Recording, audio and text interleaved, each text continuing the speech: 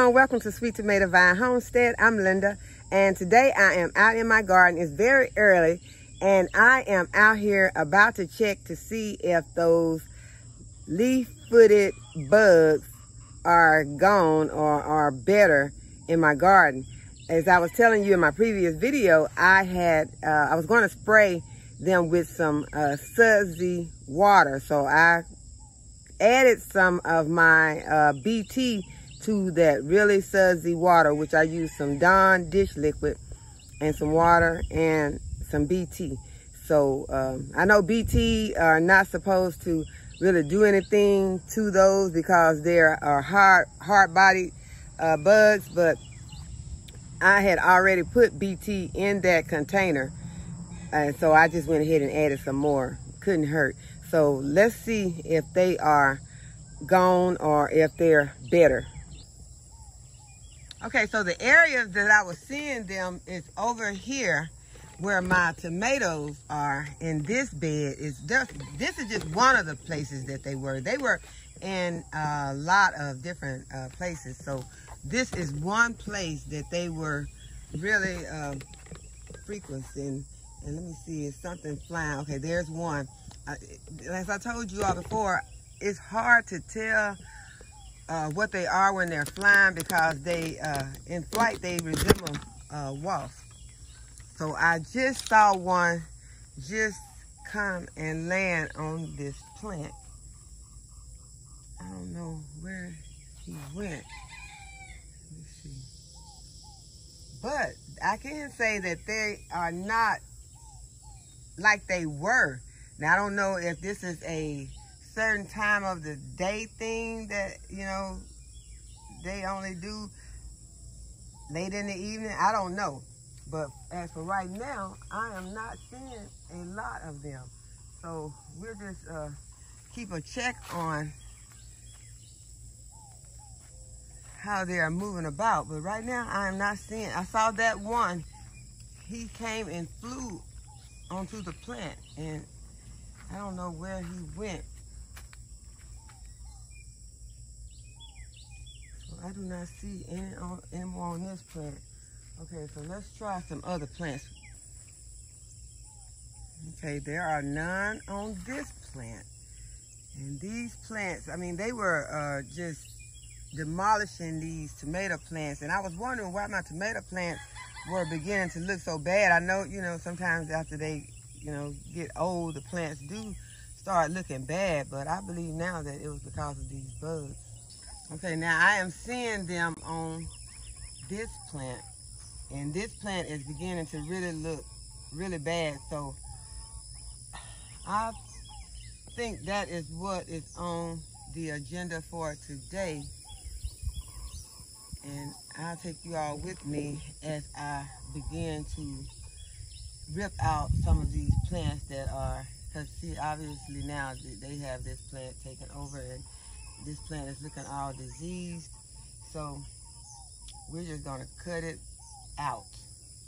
And that is what it's seeming like is on the agenda for today is to go ahead and get some of these plants out that are diseased and uh, have been uh, taken over by these pests because if we keep these in the garden, they are only to make things worse. So, y'all, as hard as it may be for you, sometimes that's what you have to do. You just have to go ahead and rip out those diseased and pest infested plants. So yeah, let's get started.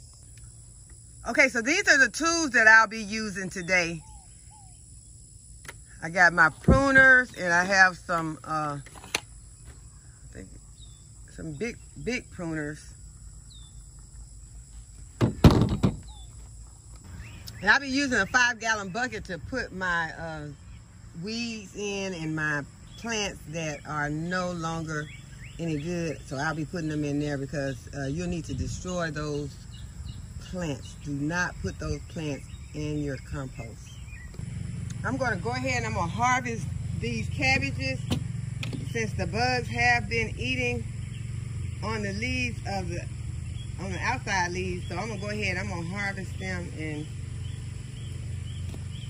make a meal of those. before they get too badly damaged.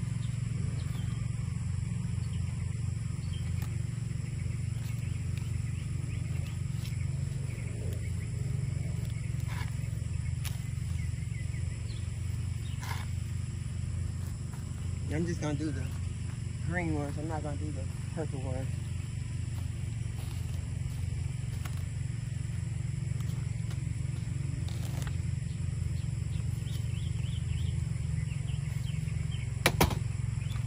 Because these outside leaves are damaged, I'm gonna give, give them to my chickens, but I will be taking the inside.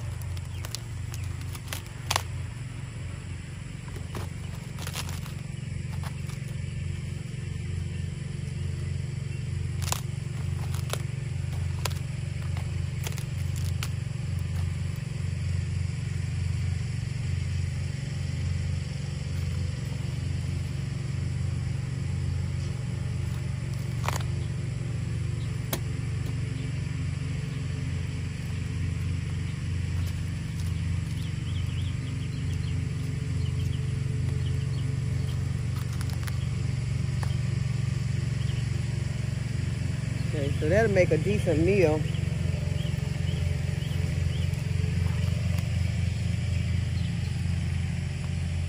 I can just cut that little bit off at the top. Y'all excuse the weed eating going on in the background, but I am going to pick some peas. I've already started on one side, so I'm gonna do this side.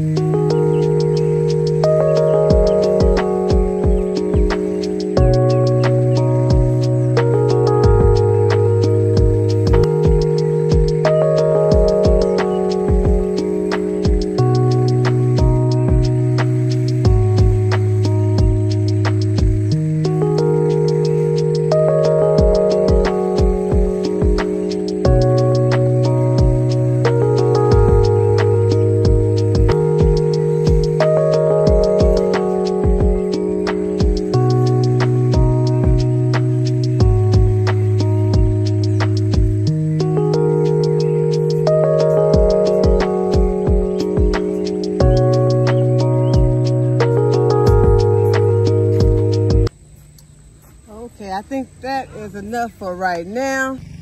Okay, so one of the plants that's going to have to get removed is this tree. This is the Bruce plum tree that I told you had uh, died, and I am going to remove it because it will attract insects to the garden. And this is a hosta that has a lot of decay on it. I'm going to go ahead and I'm going to cut it down some. I'm going to go ahead and pull out the greens and uh, kohlrabis and stuff like this that looks bad like this is coming out today. Okay guys, so this is my harvest for today. I have some purple hull peas, some cabbage, three ears of corn, some uh, cherry tomatoes, and one patty pan squash. So I hope that you all enjoyed the video. I hope that you would give the video a thumbs up, that you would subscribe to my channel, hit the notification bell so that you'll be notified whenever I upload a video. And as always, thank you all for watching, and I'll see y'all in the next video.